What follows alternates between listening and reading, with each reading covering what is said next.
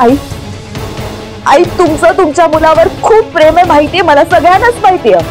पण तुमचा मुलगा एका बाईच्या आयुष्याशी असा खेळतोय आणि तुम्ही त्याला साथ देता. तुम्हीच सांगा मला आता. तुम्हीच सांगा मी. कुठे जाऊ? हा माणूस याच्या सोयीप्रमाणे माझा वापर करतो. मी का होऊ देऊ? मी का नाही भांडायचं माझ्या हक्कासाठी? माझं आणि अनिरुद्धचं दोष आहे का? हे जे काही आहे ना? मग हा एकटा कसा डिसिजन घेऊ शकतो? सफ़र फक्त मी परिणाम मी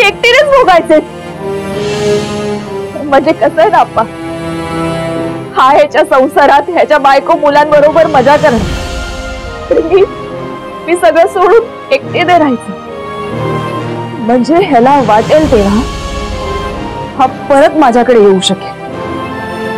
कारण मला एक लाख टक्के खात्री आहे. हा आज असं म्हणतो. पण पहिली संधी मिळाली की परत हा माझ्याकडे येणार. परत माझ्या खांद्यावर डोकं ठेवून रडणार. आणि मी